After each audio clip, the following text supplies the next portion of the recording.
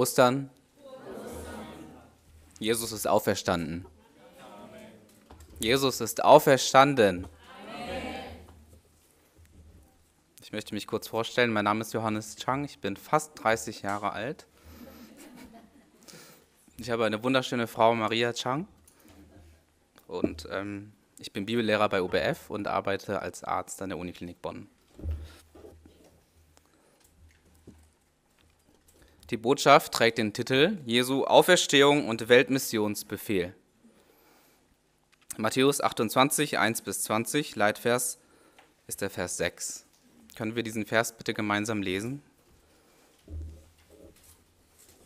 Bitte? Er ist nicht hier. Er ist auferstanden, wie er gesagt hat. Kommt her und seht die Stätte, wo er gelegen hat. Ich möchte kurz beten. Lieber lebendiger und heiliger Vater, danke, dass du uns diesen herrlichen Ostersonntag schenkst. Danke, dass du uns heute die Auferstehung Jesu als eine geschichtliche Tatsache und auch den Weltmissionsbefehl Jesu lehrst. Ja, in dieser Stunde möchten wir den praktischen Glauben an die Auferstehung kennenlernen. Mache dazu unsere Herzen und unseren Geist bereit, um dein Wort zu empfangen. Schenke uns wahre Osterfreude. Ich danke dir und bete im Namen Jesu Christi. Amen.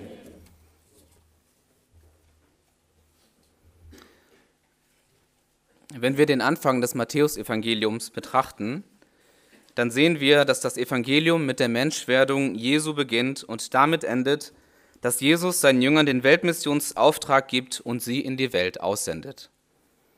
Gott begann selbst das Evangeliumswerk in dieser verfluchten Welt, indem er in Menschengestalt auf diese Erde kam. Die Auferstehung Jesu in der Geschichte der Menschen und auch die Beauftragung und Sendung der Jünger zu allen Völkern war der Beginn einer neuen Epoche für das Heilswerk Gottes. Im heutigen Text erfahren wir Jesu Auferstehung als eine geschichtliche Tatsache und Jesu Weltmissionsauftrag. Machet zu Jüngern alle Völker. Gott möge uns helfen, den Auferstehungsglauben zu erneuern und gemäß Jesu Weltmissionsauftrag ein gesegnetes und siegreiches Leben zu führen. Teil 1 Das Werk des Himmels, das im Grab geschah, Verse 1 bis 4. Der letzte Teil des Matthäusevangeliums unterscheidet sich vom Ende der anderen Evangelien dadurch, Entschuldigung, durch den Bericht über eine systematische Verhinderung der Auferstehung Jesu durch die Welt.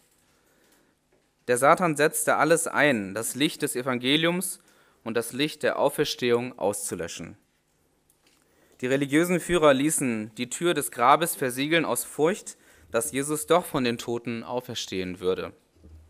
Aber ihr listiger Plan ging nicht auf. Sehen wir uns dazu die Verse 1 bis 3 an und lesen sie gemeinsam.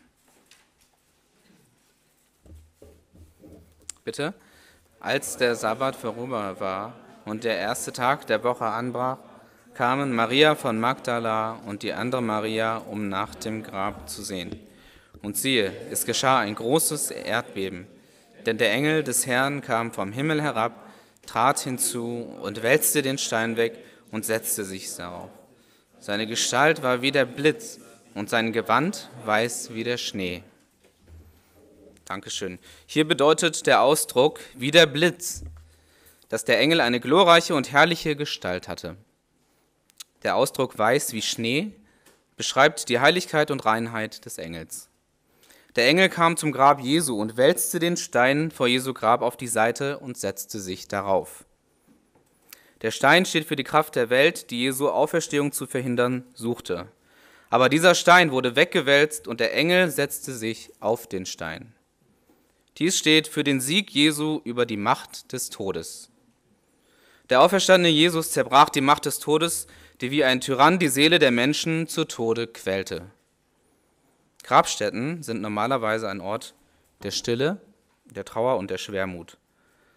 Aber als die Kraft des Himmels herabkam, bewegte sich das Grab Jesu sehr heftig. So hat der allmächtige Schöpfer Gott mit seiner Allmacht den gekreuzigten, toten Jesus wieder lebendig gemacht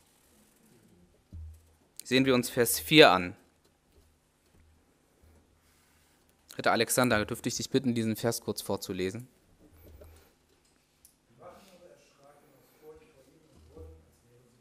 Dankeschön. Die Wachen sollten die Auferstehung Jesu verhindern. Aber als der Engel des Herrn kam, wurden sie, als wären sie tot. Niemand und keine Kraft oder Macht der Welt kann die Auferstehung Jesu verhindern, weil die Auferstehung Jesu die stärkste Macht Gottes ist. Teil 2, die Botschaft des Engels, Verse 5 bis 8. Welche frohe Botschaft verkündigte der Engel den Frauen? Sehen wir dazu die Verse 5 und 6 an. Lesen wir die, diese Verse gemeinsam mit der Stimme, wie der Engel das zu den Frauen gesprochen hat. Stellt euch vor, wie der Engel das zu denen gesprochen hat. Bitte. Aber der Engel sprach zu den Frauen, fürchtet euch nicht. Ich weiß, dass ihr Jesus, den Gekreuzigten, sucht. Er ist nicht hier, er ist auferstanden, wie er gesagt hat. Kommt her und seht die Stätte, wo er gelegen hat. Danke. Als die Frauen erfuhren, was am Grab Jesu geschah, wurden sie sehr furchtsam. Der Engel sprach zu ihnen, Fürchtet euch nicht, ich weiß, dass ihr Jesus, den Gekreuzigten, sucht. Der Engel kannte die Herzensschmerzen der Frauen und ihre treue Liebe zu Jesus. Sie mussten immer wieder an Jesus denken, der am Kreuz elend und grausam getötet wurde. Und das schmerzhafte Bild fesselte ihre Herzen und ihren Geist. Normalerweise möchte man keine Toten sehen. Aber die Gestalt, die, die Gestalt Jesu, die die Frauen gesehen hatten, war wirklich eine elende Gestalt, die wegen den Peitschenhieben völlig zerschunden und entstellt war. Vom Kopf bis zu den Füßen wurde Jesus geschlagen, gegeißelt und von Dornen durchbohrt. Aber diese Frauen liebten Jesus über seinen Tod hinaus. Wegen ihrer Liebe konnten sie die elende Gestalt Jesus nicht aus ihrem Gedächtnis löchen, löschen, auch wenn sie schrecklich aussah. Die Herzen der Frauen waren voller Groll, Verlustgefühl und Traurigkeit, dass sie ihren geliebten Herrn Jesus verloren hatten. Sie gerieten in tiefe Verzweiflung vor der Macht des Todes. Der Engel kannte ihre Herzen und verkündete ihnen, aber die froheste Botschaft, er ist nicht hier, er ist auferstanden, wie er gesagt hat. Kommt her und seht die Stätte, wo er gelegen hat. Wir möchten das nochmal zusammen sprechen. Ab er ist nicht hier. Bitte?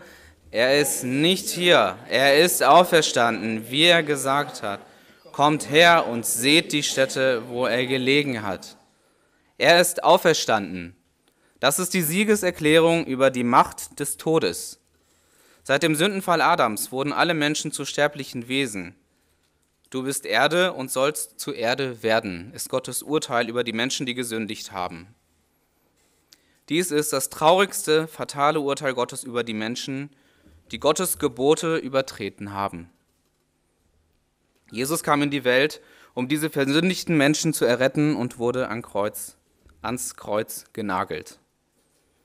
Aber er besiegte nach drei Tagen durch seine Auferstehung die Macht des Todes. Er ist auferstanden, ist die frohste Nachricht für die Menschen, die wegen der Sünde sterben und wieder zur Erde werden mussten.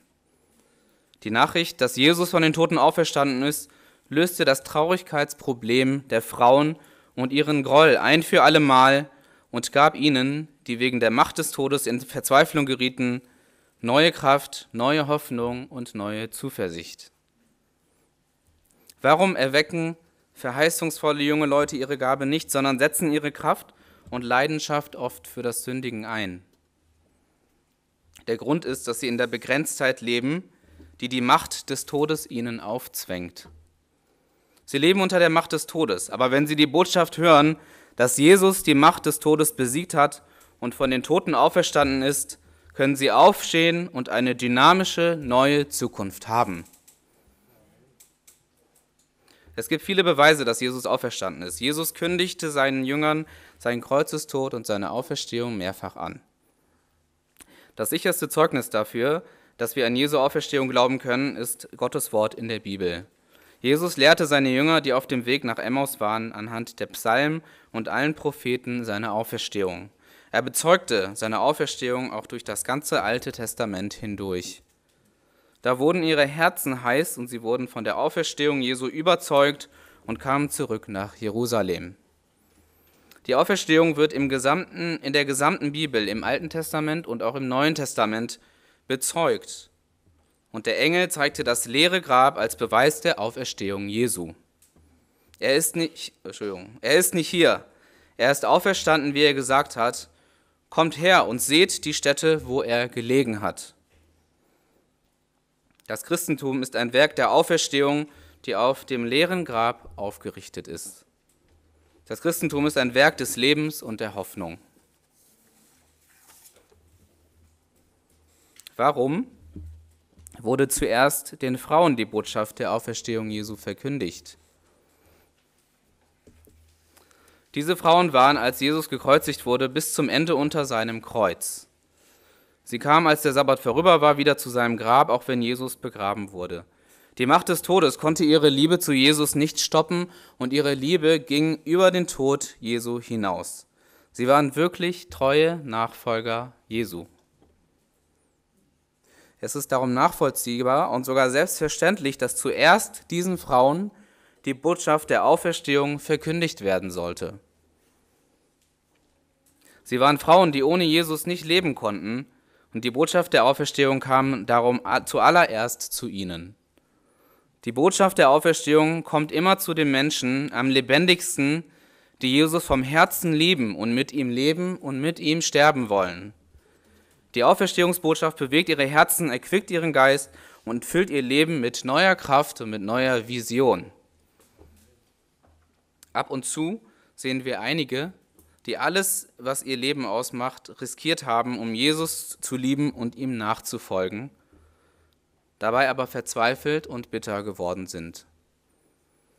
Wir sehen auch einige Menschen, die ihre Kraft und Leidenschaft für das Werk Gottes eingesetzt haben, aber nun in einer schwierigen Sackgasse gelandet sind. Aber die Botschaft der Auferstehung Jesu wird ihnen als stärkste Macht und Gewalt erscheinen und ihr Leben erneuern wie ein großes Erdbeben. Wir brauchen nicht zu verzagen, wenn auch wir in der Nachfolge Jesu in eine schwierige und auswegslose Lage geraten sind. Wir sollen die Botschaft der Auferstehung Jesu persönlich hören. Er ist nicht hier, er ist auferstanden. Amen. Amen. Denen, die selbstsüchtig leben und sich den ganzen Tag mit ihren eigenen Angelegenheiten und irdischen Dingen beschäftigen, wird die Botschaft der Auferstehung wie ein Schlaflied vorkommen oder vielleicht sogar ein Anstoß des Ärgernisses sein. Aber zu denen, die Jesus lieben und mit ihm sterben und leben wollen, kommt die Botschaft der Auferstehung immer sehr wirkungsvoll. Die Botschaft der Auferstehung wird für sie eine dynamische Kraft sein, die ihr Leben um 180 Grad erneuert. So, wir sind bei Vers 7 angekommen. Ich würde gerne alle Jugendlichen bitten, diesen Vers zu lesen. Elf Jahre und aufwärts. Bitte?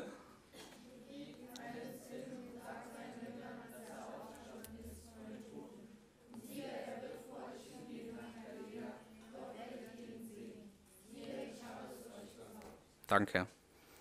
Der Engel sagte den Frauen, dass sie eilends zu den Jüngern gehen und ihnen die Botschaft der Auferstehung verkündigen sollten. Für die, Botschaft, für, Entschuldigung, für die Jünger war die Nachricht der Auferstehung absolut notwendig. Wir sollen auch die Botschaft der Auferstehung eilends den ungläubigen Menschen verkünden, die wegen der Lüge des Satans im Schatten des Todes so beschäftigt und an die irdischen Dinge geklebt sind. Sehen wir uns nun Vers 8 an. Lesen wir den Vers wieder zusammen. Bitte. Und sie gingen eilends weg vom Grab mit Furcht und großer Freude und liefen, um es den Jüngern zu verkündigen. Als sie die Nachricht der Auferstehung Jesu hörten, wurden die Frauen mit Freude und Furcht erfüllt. Als sie zum Grab kamen, waren ihre Herzen so verzweifelt und traurig und ihre Schritte so schwer, dass sie nicht einmal richtig gehen konnten.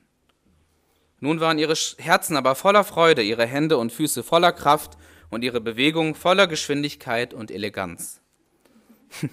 Sie wurden zu neuen Kreaturen verändert. Wenn ein Mensch die Botschaft der Auferstehung Jesu aufnimmt, wird er zu einer neuen Kreatur. Amen. Teil 3. Die Begegnung mit dem auferstandenen Jesus. Verse 9 und 10. Als die Frauen gemäß der Anweisung des Engels zu den Jüngern liefen, erschien der auferstandene Jesus ihnen ganz persönlich auf dem Weg. Sehen wir uns dazu Vers 9 an. Und siehe, da begegnete ihnen Jesus und sprach, seid gegrüßt. Und sie traten zu ihm und umfassten seine Füße und fielen vor ihm nieder. Als der auferstandene Jesus den Frauen begegnete, gab er ihnen wahre Freunde. Dem auferstandenen Jesus zu begegnen, ist der größte Segen Gottes für das Leben eines Menschen. Den auferstandenen Jesus zu sehen, war die Qualifikation dafür, ein Apostel Jesu Christi zu sein. Wie konnten die Frauen diesen Segen empfangen, dem auferstandenen Jesus zu begegnen? Weil sie die Nachricht der Auferstehung Jesu aufnahmen und durch den Gehorsam des Glaubens liefen, um die Nachricht der Auferstehung zu verkünden. Unser auferstandener Herr sieht auch heute die Boten des Evangeliums, die an die Nachricht der Auferstehung Jesu glauben und laufen, um die Botschaft der Auferstehung Jesu zu verkündigen und zeigt ihnen seine glorreiche Auferstehungsgestalt. Er erfüllt sie mit großer Freude und Zuversicht, dass sie als Zeugen der Auferstehung Jesu leben können. Hütte Peter und Hütte Joachim Dietzel sind gute Beispiele dafür. Durch diese persönliche Begegnung mit Jesus erreicht unsere Beziehung auch mit Jesus eine neue Dimension, eine geistliche Dimension. Sehen wir uns Vers 10 noch einmal an. Jesus nannte seine Brüder meine Brüder. Warum? Weil Jesus durch seinen Kreuzestod und seine Auferstehung unsere zerbrochene Beziehung zu Gott wiederhergestellt hat. Nun dürfen wir Gott aber lieber Vater nennen. Weil wir durch Jesus mit Gott eine Vater-Kind-Beziehung haben, ist Jesus unser erster Bruder und wir sind seine Brüder und Schwestern geworden. Lob und Preis sei Jesus, der von den Toten auferstand und uns zu den Kindern Gottes gemacht hat und unser Bruder geworden ist.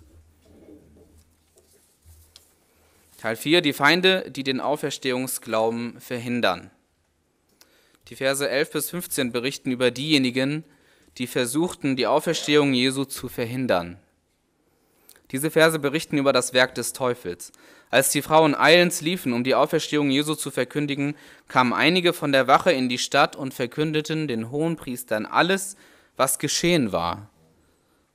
Die Hohenpriester sollten mit Buße die Nachricht der Auferstehung Jesu annehmen, weil sie eine klare Tatsache ist.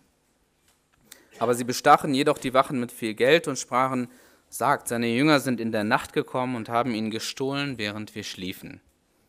Sie bereiteten einen Komplott vor und ließen die Soldaten Lügen verbreiten, dass die Jünger Jesu in der Nacht den Leichnam Jesu gestohlen hätten. So hat sich die Lüge, dass der Leichnam Jesu von seinen Jüngern gestohlen wurde, bis heute gehalten. Das ist das Werk des Satans. Wenn wir die Kirchengeschichte betrachten, sehen wir Menschen, die, die danach trachteten, Gottes Werk unbedingt zu verdrehen und zu verbergen. Beim jüngsten Gericht werden sie Gottes ernsthaftes Gericht erfahren. Teil 5 und letzter Teil, der Weltmissionsbefehl, Verse 16 bis 20. Gemäß der Verkündigung der Frauen gingen die elf Jünger nach Galiläa auf dem Berg, wohin Jesus sie bestellt hatte. Dort begegneten sie Jesus. Galiläa war der Ort, an dem die Jünger mit Jesus gewesen waren. Überall fanden sie Spuren der Liebe Jesu. Der auferstandene Jesus offenbarte sich hier als der auferstandene Christus, der seine Jünger vor und auch nach seiner Auferstehung unveränderlich liebte. Als sie Jesus sahen, fielen sie vor ihm nieder. Sie erhöhten Jesus als Gottes Sohn und König aller Könige. Die elf Jünger entschieden sich, Jesus als Gottes Sohn und Messias zu achten und ihm von ganzem Herzen, von ganzer Seele und mit all ihren Kräften zu dienen. Einige aber zweifelten. Damals und zu jeder Zeit gibt es immer einige, die zweifeln, auch wenn sie mit ihren eigenen Augen sehen. Die Auferstehung Jesu ist nichts, woran man glauben kann, wenn man sie mit den Augen sieht. Die, die nicht sehen und doch glauben, sind diejenigen, die seligen Glauben haben. Amen. Jesus gab seinen Jüngern nun eine große Mission und diese Mission wird der Weltmissionsbefehl genannt. Dies ist Jesu testamentarischer Befehl. Wenn Jesus in seiner Herrlichkeit und Macht wiederkommt und das Leben der Menschen bewertet, wird ein Kriterium sein, wie sehr wir diesem Befehl gehorcht haben. Lesen wir zusammen die Verse 18 bis 20.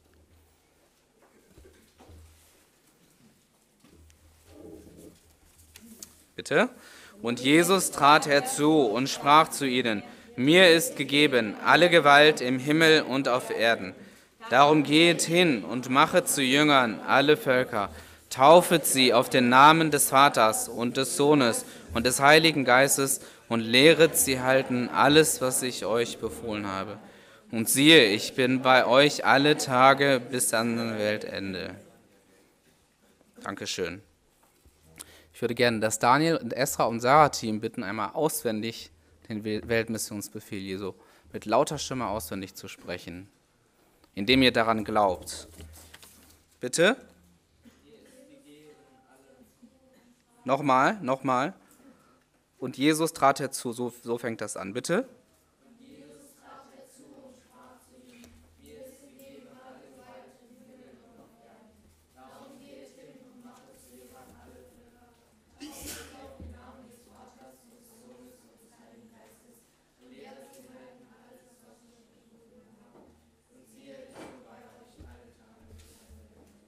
Amen. Danke. Der auferstandene Jesus proklamierte zuerst, wer er ist. Mir ist gegeben alle Gewalt im Himmel und auf Erden. Sagt, dass Jesus alle Gewalt im Himmel und auf Erden tatsächlich hat. Hier bedeutet alle Gewalt im Himmel und auf Erden die Gewalt über das Universum, über das Sichtbare und Unsichtbare, über das Materielle und über das Geistliche. Jesus ist der Kommandeur des Universums, der die absolute Gewalt hat. Warum war die Tatsache, dass Jesu Gewalt, Entschuldigung, dass Jesus Gewalt im Himmel und auf Erden hat, für seine Jünger so wichtig? Erstens, die Tatsache gab ihnen Vision und Zuversicht, ihre Mission mutig zu erfüllen. Zweitens, diese Tatsache half ihnen, ihre Mission mit der absoluten Haltung zu erfüllen weil der Kommandeur des Universums Jesus ihnen diesen Befehl anvertraut hatte, blieben sie nicht von ihrem Gefühl oder ihrer Lage oder von ihren Bedingungen abhängig, sondern erfüllten den Auftrag Jesu mit Furcht und Zittern bis zum Ende. Was ist diese Mission, die Jesus seinen Jüngern gegeben hatte? Darum geht hin und machet zu Jüngern alle Völker, taufet sie auf den Namen des Vaters und des Sohnes und des Heiligen Geistes und lehret sie halten alles, was ich euch befohlen habe.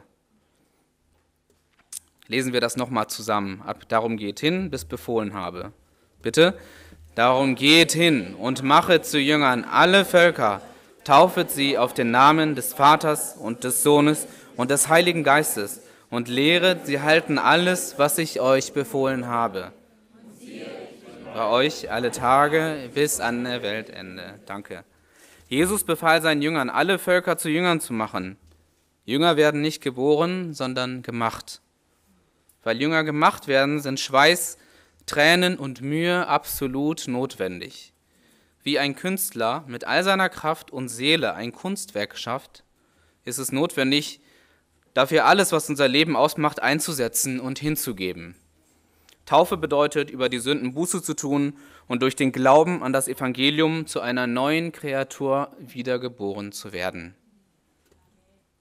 Ohne wiedergeboren zu werden, kann keiner ein Jünger Jesu werden, geschweige denn Gottes Kind zu sein. Es gibt nicht wenige, die als Knechte des Bösen leben, auch wenn sie lange in einer Gemeinde tätig sind. Wir sollen unsere Hoffnungsträger und Kinder lehren, alles, was sie durch das Bibelstudium gelernt haben, zu halten. Wiedergeboren zu sein ist nicht das Ende des neuen Lebens. Wiedergeboren zu werden ist erst der Anfang. Wenn wir unsere Hoffnungsträger und Kinder nur Gottes Wort lehren und ihnen nicht helfen, Gottes Wort praktisch zu gehorchen, werden sie zu Gläubigen, die nur einen großen Kopf haben und viele schädliche Worte reden. Was versprach Jesus seinen Jüngern, die von ganzem Herzen Jesu Weltmissionswerk dienen? Vers 20b. Und siehe, ich bin bei euch alle Tage bis an der Weltende. Jesus versprach, alle Tage bis an der Weltende bei ihnen zu sein. Das bedeutet absoluten Schutz. Gott versprach seinen Jüngern absoluten Schutz. Bis zu dem Tag, an dem Jesus wiederkommt und uns auferweckt, möchte er uns mit seiner Hand schützen. Im Missionsfeld gibt es verschiedene Gefahren. Aber weil Jesus es uns versprochen hat, ist unser Missionsleben das sicherste Leben. Amen. Gott möge jeden von euch in diesem Frühling segnen, den Auferstehungsglauben anzuziehen und als Hauptperson für die geistliche Wiedererweckung in Deutschland und Europa kostbar gebraucht zu werden. Amen. Ich möchte kurz beten.